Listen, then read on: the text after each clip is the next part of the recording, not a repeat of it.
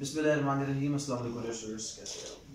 हमारा आज का जो लेक्चर है, हमारी प्रैक्टिस सीरीज़, जो कि हमारे लॉ कॉलेज के स्टूडेंट्स हैं। पर्टिकुलरली आज हमारे एलएलबी पार्ट टू के स्टूडेंट्स आप सब लोगों के लिए एक छोटा सा केस बेसिकली इसका जो मकसद है कि आपको लॉ भी सिखाया जाए और उसकी प्रैक्टिकल एप्लीकेबिलिटी भी सिखाई जाए कि लॉ को प्रैक्टिस के अंदर इम्प्लीमेंट कैसे किया जाता है।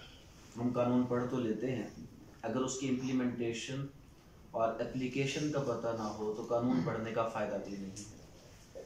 आज बेसिकली हम डबल जीओपर्डी का जो कंसेप्ट है उसकी एप्लीकेशन देखेंगे कि पाकिस्तान के किस कानून में क्या प्रोविज़न है और अदालतों में इस कंसेप्ट को अप्लाई किस तरह किया जाता है। कुछ चीज़ें ऐसी जो एज बीइंग स्टूडेंट आपने याद करनी है। वो कौन सी? वो लिख लें वो हर शख्स को याद होनी चाहिए। इसमें आप लोगों ने चार प्रोविजंस याद करनी है, जिसमें से तीन का हवाला आज दिया जाएगा। चौथी सिर्फ़ आपके नॉलेज के लिए है। पहली प्रोविज़न है article thirteen of constitution of Pakistan. Means अगर आपसे कोई पूछे कि जी बताएँगे ये जो डबल जीओपर्डी का कंसेप्ट है, ये हमारे आइन और कानून में कहाँ पे लिखा है? तो आपका जवाब होगा कि जनाब, सबसे पहली प्रोविज़न आर्टिकल थर्टीन है। और वो किसकी है? कॉन्स्टिट्यूशन ऑफ़ पाकिस्तान की। उसके बाद सेकंड इसमें कौन सी है? Section 403 code of criminal procedure जो आज हम अप्लाई करने जा रहे हैं। बेसिक प्रिंसिपल 403 का है डबल जीओपर्डी का। तीसरा, इसका provision section 26 general clauses act directly इसके साथ फोर्थ ऑप्शन लिंक नहीं है, लेकिन है वो भी। उसको कहते हैं res judicata section 11 code of civil procedure ये रेस जुडी काटा डबल जीओ पर डी एक ही चीज़ है। फ़र्क ये है कि एक जनरल प्रिंसिपल ऑफ़ लॉ कहता है कि किसी भी शख्स को एक जुर्म की दो बार सजा नहीं हो सकती। या किसी भी शख्स के खिलाफ कोई सिविल मुकदमा दो बार नहीं किया जा सकता। आज हम सिविल मुकदमे को साइड पर रखते हैं, जब हम सिविल कोर्ट में जाएँगे, हम रेस्टूडी काटा का मुकदमा वहाँ पर करेंगे। आज हम डबल जियोपर्डी के हवाले से चलते हैं। एक बेसिक पॉइंट जो आप सब लोगों को बिल्कुल क्लियर होना चाहिए, अगर कोई भी आपसे पूछे, जो अब तक क्लियर हो चुका होना चाहिए, अगर नहीं है तो आज क्लियर कर ले। मैं कल, परसों जब भी अब कोई भी बंदा आएगा, मैं ये चीज़ पूछूँगा। आपसे मैं ये पूछूँगा डबल जियोपर्डी क्या है? डबल जियोपर्डी क्या है? तो जवाब क्या है कि जनाब, किसी भी शख्स को एक ही मुकदमे में दो बार सजा नहीं हो सकती। या इसको मजीद आसान करें कि किसी भी शख्स पर एक जुर्म के बारे में दो बार मुकदमा नहीं चलाया जा सकता। Person once acquitted or convicted can not be tried again for the same reference लफ्ज यूज़ के मैंने ट्राइड एक नया लफ्ज होगा। हमने ट्राइड ट्रायरियन पढ़ा हुआ है। यहाँ पर ट्राइड का मतलब क्या है? क्रिमिनल मुकदमा चलाने के अमल को ट्रायल कहते हैं। और can not be tried again का मतलब है कि उस पर दोबारा मुकदमा नहीं, नहीं चलाया जा मिसाल के तौर पर आप किसी शख्स के खिलाफ मुकदमा करते हैं। वो उस मुकदमे में या तो कन्विक्ट होता है। कन्विक्ट का मतलब उसको सजा हो जाती है। या वो एक्विट होता है. एक्विट का मतलब वो क्या हो जाता है? बरी अगर आपको कोई एतराज़ है तो ऐसी सूरत में आप अपील कर सकते हैं. आप क्या कर सकते हैं? अपील. आप रिवीजन कर सकते हैं. आप ये नहीं कह सकते कि मैं इस जज के मुकदमे को नहीं मानता. मैं तो क्या करूँगा? बशीर लाटू को ले मुकदमा मैंने संभाला है? हो सकता है कि नहीं हो सकता? ऐसा कोई बंदा कर सकता है कि नहीं कर सकता? तो कानून कहता है कि नहीं ये नहीं हो सकता। जब किसी शख्स को एक मुकदमे से बरी कर दिया जाए या उसको सजा दे दी जाए तो उसके खिलाफ दोबारा मुकदमा नहीं हो सकता। प्रोविजंस कौन सी हैं? सब लोगों की आवाज़ आनी चाहिए। कॉन्स्टिट्यूशन का कौन सा आर्टिकल है? आर्टिकल थर्टीन और कोड ऑफ़ क्रिमिनल प्रोसीजर का कौन सा सेक्शन है? ज़ीरो जनरल क्लॉजेस एक्ट का कौन सा सेक्शन जनरल क्लॉजेस एक्ट का twenty six general clauses act section twenty six और तीनों क्या बात करते हैं? एक। कौन सी बात? Double jeopardy double jeopardy, no person shall be convicted twice for the same offense. एक ही जुर्म की किसी शख्स को दो बार सजा नहीं हो सकती। इज़ इट क्लियर ये हो गया हमारा बेसिक कंसेप्ट अब आज हम इसकी एप्लीकेशन इन द कोर्स उसको पढ़ने जा रहे हैं। कि जहाँ पर अब आप बेटा अपने क्या करना है, जिस चीज़ का मैं नाम देता जाऊँ बल्कि आप अपना तारफ खुद करवाते जाए, ताकि सब लोग किन और जो हमारे स्टूडेंट्स हैं, उनके तवसत से ये एक हमने जो सीरीज़ शायद पाकिस्तान में पहली बार ऐसा हुआ है, कि एक कंसेप्ट था कि जनाब ला अलग है थ्योरी अलग है प्रैक्टिस अलग है। एक बड़ा कॉमन सा कंसेप्ट जो आपको डिफरेंट जगह पर ही बताया जाता है कि जी थ्योरी और प्रैक्टिस का कोई मामला आपस में नहीं है। लिहाजा बस एल एल पी के दौरान अपना टाइम पास कर लें।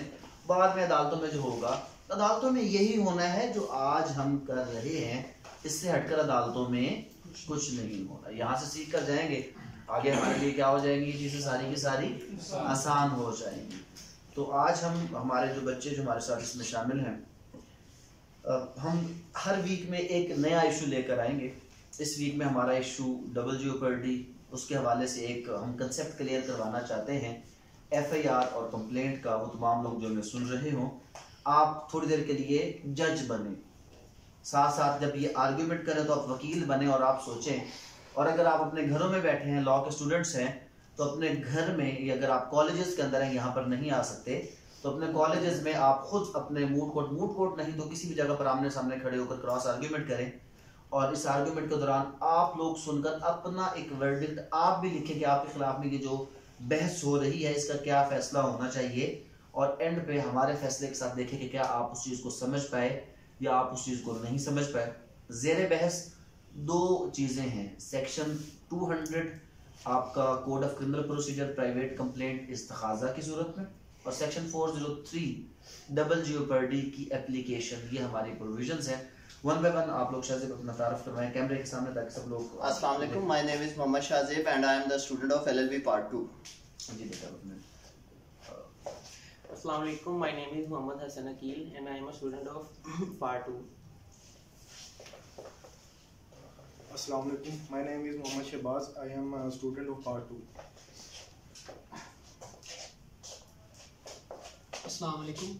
My name is Hafiz Muhammad Asif. I am a student of LLB Part 2 of Intelligence Law College. जी बताएँ वकील साहब क्या मुकदमा है आज आपका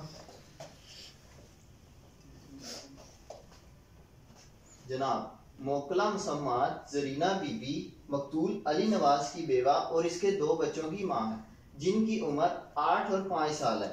जनाब मुरखा एक एक 2022 को कंप्लेनेंट जरीना बीबी के खामिन को कलमा चौक पर इल्ज़ाम अहलियान, शाहजेब और जिशान ने कत्ल कर दिया, जिस पर एक एफ़ आई आर मोरखा एक एक 2022 को थाना नसीराबाद में मकतूल के सतीले भाई हसन की मुदीरियत में दर्ज हुई। मकतूल के भाई हसन ने साइला को यकीन दिलाया कि वो मुलजमान को करार वाकई सजा दिलवाने में कोई कसर नहीं छोड़ेगा। लेकिन अरसे बाद कंप्लेनेंट को मालूम हुआ कि मुसम्मी हसन मुलजमान के साथ साजबाज करके सुलह सफ़ाई की कोशिश कर रहा है, जिस पर मोरखा एक बारह दो हज़ार तेईस को कंप्लेनेंट ने ट्रायल कोर्ट में दरखास्त गुजारी की कि इसके के इसको बुरसा की फहरिस्त में शामिल किया जाए। लेकिन इस पर किसी भी किस्म के फैसले के बजाय मुलजमान को सुलह की बुनियाद पर जमानत पर रिहा कर दिया गया। जनाबी अली कंप्लेनेंट मकतूला की बीवी और इसके बच्चों की माँ और तर, तरजीही वली है। लिहाजा एफ़ आई आर से मायूस होकर इस्तगासा दायर किया ताकि मकतूल के कातिलों को करार वाकई सजा दिलवाई जाए। अब मेरे फाजिल वकील साहब इस हवाले से एक जजमेंट पेश करेंगे।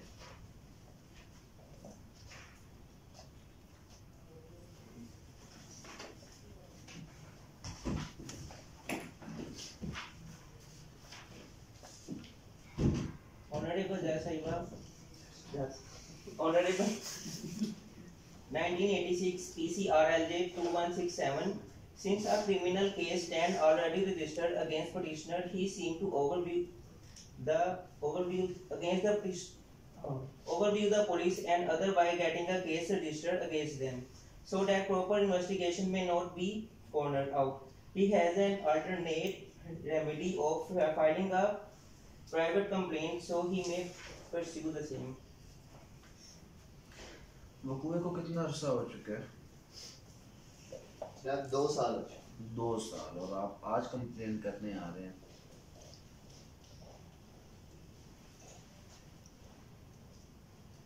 जनाब मेरी मोकला एक अनपढ़ और घरेलू खातून है। खातून है। वो इन प्रोसीजर से ना वाकिफ है जिस वजह से मुकदमा दर्ज करवाया है तो जजमेंट पेश कर दें कि अगर क्या आप दो साल बाद को कंप्लेन कर सकते हैं कोई लिमिटेशन वगैरह कोई नहीं क्रिमिनल मैटर्स में कोई जजमेंट है तो जजमेंट पेश करें आप।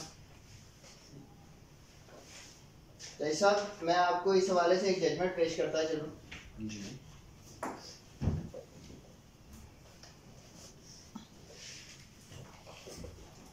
According to the judgment 2010 SCMR 1816, limitation num- no limitation is prescribed in criminal proceeding.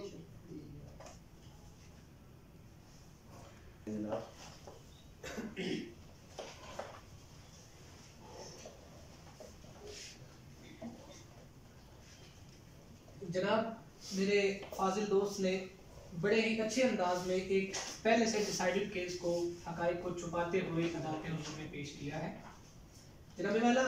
आप कह रहे हैं कि जी जमानत पे रिहा हुआ है तो मुझे पहले क्लियर करें कि ये बरी हो चुका है? आप क्या कहते हैं कि इसमें केस कंक्लूड हो चुका है? यस सर केस कंक्लूड हो चुका है। My lord. जी। ये मुलजमान का जो सतेला भाई मकतूल का जो सतेला भाई है हसन हम्म। उसने साज बाज करके मुलजमान को जमानत पर रिहा करवाया। अभी तक आप कहते हैं कि वो रिहा हुआ जमानत पे मुकदमा भी चल रहा है? जी चल। आई जी। जैसा कि मेरे फाजिल वकील ने अदालत हजूर को बताया कि मुसलमान मुकदमा कत्ल से बरी हो चुके हैं। बरी हो चुके हैं वो कह रहे हैं रिहा हो चुके हैं। पहले तो इस चीज़ इस पॉइंट पे आए कि आपके पास कोई है उसकी जजमेंट वगैरह है? बरी होने की जजमेंट है कि वो वाकई जो है वो उसमें एक्विट हो चुके हैं? है जजमेंट चलिए सर एक बारह तेईस को ट्रायल एक मिनट ये तो जनाब बरी हो चुके हैं आप लोग शायद पुराने मैटर को चलें ठीक है आप करें बात फिर देखते हैं इसको। बताएँ जनाब आप अपने बताएँ। सर मुलजमान मुकदमा कत्ल से बरी हो चुके हैं। तो एक फ्रेश ट्रायल को आइन और कानून के एक फ्रेश ट्रायल जो है वो आइन और कानून के खिलाफ होगा और अदालत हजूर के कीमती वक्त का ज़िया होगा। जहाँ तक बात है दरखास्त की तो वो फैसला महफूज होने के बाद दायर की। गई थी एक बारह तेईस को ट्रायल कोर्ट का फैसला आना था, उसी दिन ये दरखास्त गुजारी गई थी। जनाब वाला मेरे मोजिद दोस्त, इस हवाले से कुछ जजमेंट्स अदालत हजूर में पेश करना चाहते हैं।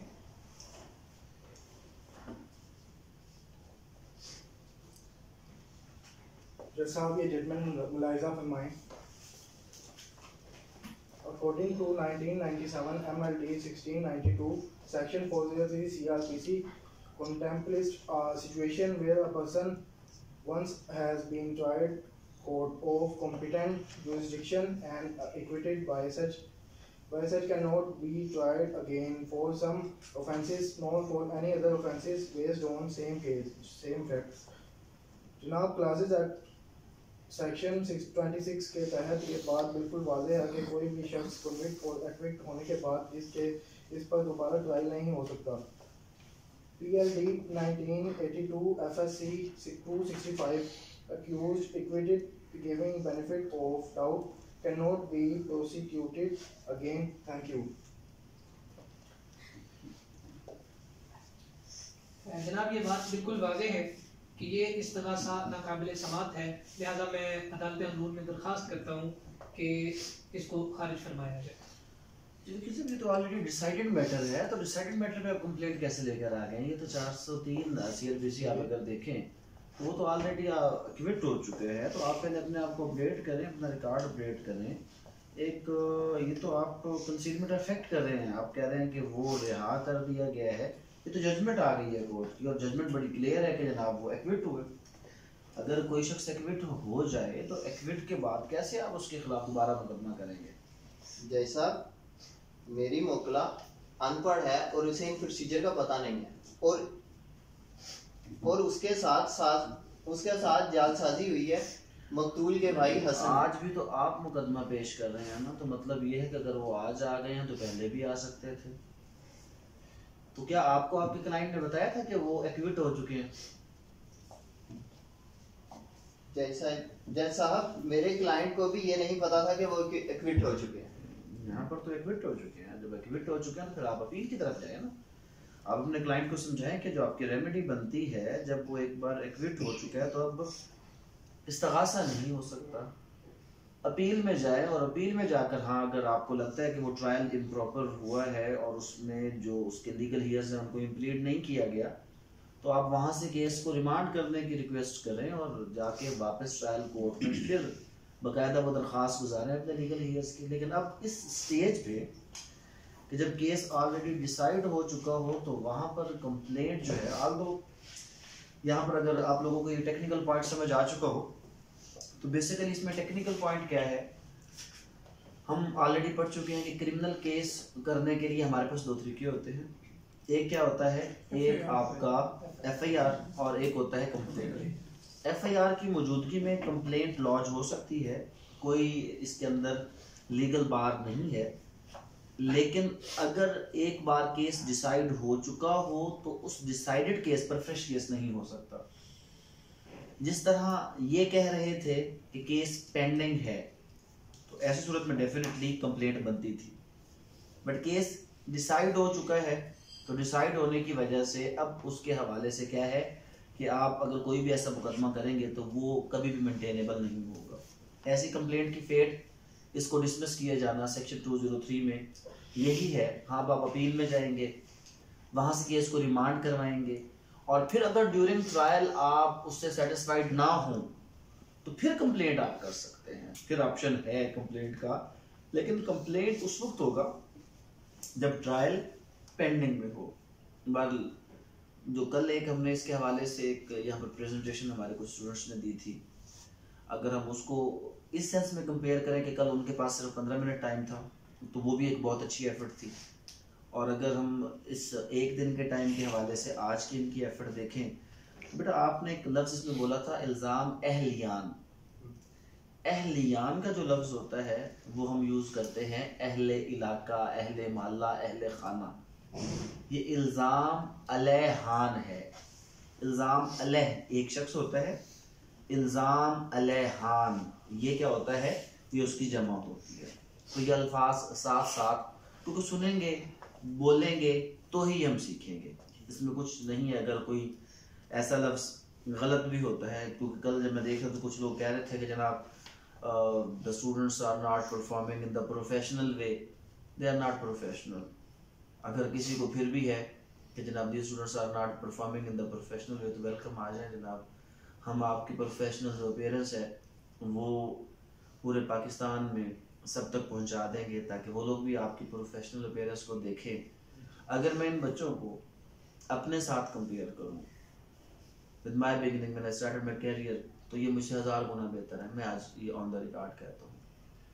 जब पहले अपने ही केस में मैं पेश हुआ था तो मैंने इतनी सी बात करनी थी कि आज वकील साहब नहीं आ सकते तो मेरे गले में मेरी आवाज़ अटक गई थी और उन्होंने मुझे पानी भी पिलाया था और आखिर पे उन्होंने कहा था कि आप ये कहना चाहते हैं तो मैंने भरी आँखों के साथ कहा हाँ। तो मीन्स ये अगर यहाँ पर कुछ ऐसा होता है तो इसका हरगिज ये मतलब नहीं है कि आप उसको अपने लिए नेगेटिव लें। सुना ना, गिरते हैं शाह सवार ही मैदान जंग के आगे है जो घुटनों के बल चले। एफर्ट करेंगे। आप अगर गलत करें it that you are doing something तो इन चीज़ों को, ऐसे कमेंट्स को नेगेटिव नहीं, बल्कि अगर क्योंकि वो पब्लिक हम करते हैं, आप उसमें ऐसे कमेंट देखते हैं तो आप उसके रिप्लाई में लिखें कि जनाब वेलकम अगर किसी को लगता है कि वो इससे बेहतर कुछ कर सकते तो अच्छी बात है, आए और हम आपके ज़रिए से लोगों तक ये पैगाम पहुँचा देंगे। लेकिन इस वक्त अलहमदिल्ला अगर एक purposeful activity the true application of law की सूरत में अगर पाकिस्तान में कोई कर रहा है तो वो हमारा इदारा है। बेसिक ऑब्जेक्ट हमारे इन बच्चों के ज़रिए से पूरे पाकिस्तान में बैठे हुए तमाम लोग जो ऐसी फैसिलिटीज़ अवेल नहीं कर सकते, उनको ये समझाना that practice is the name of the theory ये कोई अलग चीज़ें नहीं है, ये कंसेप्ट छोड़ दें कि थ्योरी अलग है और प्रैक्टिस अलग है। यानी वो आज की जो एफर्ट थी इन बच्चों की, वो बहुत अच्छी एफर्ट थी। मेरे ख्याल में आज के बाद मुझे ना कहना पड़े, ऐसी अगर कोई किसी की परफॉर्मेंस हो तो आपको क्लैप और एक ऐसी क्लैप के जो पूरे पाकिस्तान तक हो।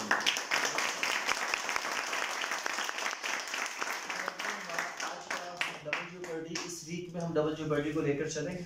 कल और आज के केस में थोड़ा सा ट्विस्ट जो इनफेक्ट मेरे नॉलेज में नहीं था बट उसको बड़े अच्छे तरीके से इन लोगों ने निभाया कि कल एक हम इसको बरी पर ही लेकर चले थे। आज एक रिहा का एक लफ्ज उसमें ऐड करने एक लफ्ज से पूरा केस उसका सिनेरियो क्या हो गया? चेंज हो गया। तो उसके साथ जिस तरह उसको टैकल किया? हमारे जो रिस्पोंडेंट काउंसिल हैं उन्होंने बड़े अच्छे तरीके से इस चीज़ को टैकल किया। तो ऐसी चीज़ें जब आपके सामने आती जाएँगी रूटीन से हटकर तो मैं यही चीज़ आप में देखना चाहता हूँ कि आप लिखी हुई चीज़ों से ज़्यादा खुद से हाँ अगर आप खुद से लिख कर आए हैं तो इट्स वेल ये तो कोई नहीं कोई वकील याद तो करके जा ही नहीं सकता। तो इसलिए हम थोड़ा सा आहिस्ता आहिस्ता आप लोगों को लेकर चल रहे हैं कि बिगनिंग जब आप पार्ट थ्री में जाएँगे तो डेफिनेटली वहाँ पर आपके पास पाकिस्तान पिनल कोड आएगा। तो फिर हम टेक्निकलिटीज़ में चले जाएँगे एफ़ की, ताकि हमने हर सेक्शन को डीपली पढ़ना होगा। बट जब वो टाइम आएगा ना तो हमारे पास टाइम ही कोई नहीं होगा। सब्जेक्ट्स बढ़ चुके होंगे, और वो सिक्स मंथ का period code of criminal procedure code of civil procedure कानूनी शहादत ऑर्डर वो नहीं समझ जाना। अगर हम अभी से चल रहे होंगे तो मेरे ख्याल में आप लोग आज के इस लेक्चर के बाद जो चीज़ें ज़रूर आपको समझ आ जानी चाहिए आप सब लोगों को क्या सेक्शन 200 सीआरपीसी समझ आ चुके? Yes.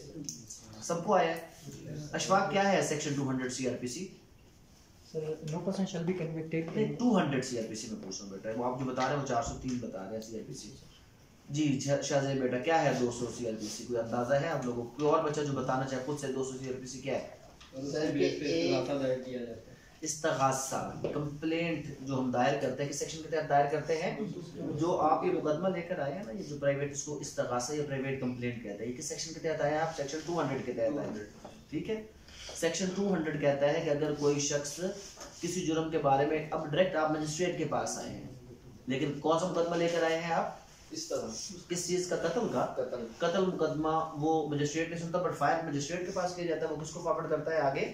कोर्ट ऑफ़ सेशन को। कोर्ट ऑफ़ सेशन इस तकाजे को सुनता है। और उससे पहले आपने जो इसको डिफेंड किया वो किसकी बुनियाद पर किया? डबल ज्योपर्डी सेक्शन 403 और डबल ज्योपर्डी के प्रिंसिपल के बैक पे जो मेन प्रिंसिपल इस सारे सिलसिले को गवर्न कर रहा है वो कौन सा है? वो आपका constitution of Pakistan article 13 of the constitution जो फंडामेंटल राइट्स के तौर पर ये बताता है कि अगर कोई शख्स किसी को एक जुर्म में एक बार सजा हो जाए या वो उसमें एक्विट हो जाए तो उसका दोबारा मुकदमा नहीं नहीं चलाया जा सकता दोबारा उसको सजा नहीं। नहीं दी जा सकती। इसमें से अगर आप लोग कोई क्वेश्चन पूछना चाहते हो तो थोड़ा सा आगे के माइक पर पूछिए। अगर कोई क्वेश्चन आपके जहन में है तो आप माइक पे आकर पूछ सकते हैं। अगर ऑनलाइन में किसी के जहन में कोई क्वेश्चन है तो आप लोग कमेंट्स की सूरत में उसको प्लेस कर सकते हैं। हमारी पूरी कोशिश होगी कि हम आपको उसके हवाले से जवाब दें। इंशाल्लाह नेक्स्ट टाइम एक फ्रेश केस लास्ट जो हमारा था, अगर आप लोगों को याद हो तो हमने बाईस से बाईस बी के हवाले से किया था कि जहाँ पर एफआईआर दर्ज नहीं हो रही थी तो एफआईआर के दर्ज करवाने के लिए हमने बाईस ए, बाईस बी की कार्रवाई करवाई। आज हमने सेक्शन 200 की कार्रवाई कराई। अभी हम आहिस्ता आहिस्ता ट्रायल की तरफ़ भी जाएँगे कि जहाँ पे एविडेंस रिकॉर्ड किए जाने हैं, जहाँ पे फाइनल आर्ग्यूमेंट्स होने हैं, जहाँ पे क्रॉस एग्जामिनेशन होना है। तो इनफैक्ट एक स्टेप वाइज इन तमाम चीज़ों को लेकर चलेंगे। लेकिन अब ये सबसे बड़ी हमारी लर्निंग होगी कि अगर आप सेक्शन 13 सेक्शन 200 सेक्शन 403 और section 26 of general clause act आपको अगर ये सेक्शंस याद हो जाएँ, लेकिन इसका सबसे अच्छा तरीका ये होगा कि आप एक बार उसको कानून से पढ़ लें, उर्दू में इंग्लिश में, ये तमाम बुक्स अवेलेबल हैं यहाँ पे। उर्दू की बुक वो क्रिमिनल मेजर एक्ट अवेलेबल है, आप इंग्लिश में पढ़ें, उसको उर्दू में पढ़ें और समझें। सिर्फ़ presentation is not the only purpose purpose ये है कि हम किस तरह चीज़ों को अंडरस्टैंड करें और फिर किस तरह अपने फ्यूचर लाइफ के लिए हम क्या करें। और अगर आप लोगों में से कोई अफोर्ड कर सकता है तो हमने वेरी फ़र्स्ट डे अपने लिए एक सिविल मेजर एक्ट और क्रिमिनल मेजर एक्ट लिए हैं अगर अफोर्ड कर सकते हैं। मेरे ख्याल में स्टूडेंट को चाहे हफ़्ते की रोक कर अगर किताब लेनी पड़े तो कुछ भी वो नुकसान में नहीं है। अगर वो ऐसा करे तो इसमें बजाय इसके कि आप महँगे वाले बेरेक्स की तरफ़ चले जाएँ मेरेक्स की तरफ़ चले जाएँ, पंजाब बार कौंसिल अठारह सौ या दो हज़ार रुपये में आपको एक किताब दे देती है। तो ये आपकी सारी ज़िंदगी आपके साथ चलना है। जो चीज़ बने आप उसके ऊपर क्या करें? हाईलाइट करें, केस हाईलाइट करें। नेक्स्ट टाइम आप लोगों के लिए क्या होगी, आसानी, ये आप वेरी फ़र्स्ट डे अपने लिए सिविल में डायरेक्ट और क्रिमिनल में डायरेक्ट उठा के आना जाना हमारे, माशाल्लाह, ये तो सारे ठीक ठीक खड़े हैं, शायद पे थोड़ा सा शक है। किताब उठा सके या ना उठा सके। तो आप अपनी बुक्स बेशक यहाँ पे हम आपको बकायदा कपड़ दे देते हैं। आप वहाँ पर अपनी किताबें रखें ताकि आना जाना वो मसला ना हो। लेकिन जब तक आप खुद से नहीं पढ़ेंगे क्वेश्चंस रेज नहीं करेंगे, इन चीज़ों की आपको समझ नहीं आएगी।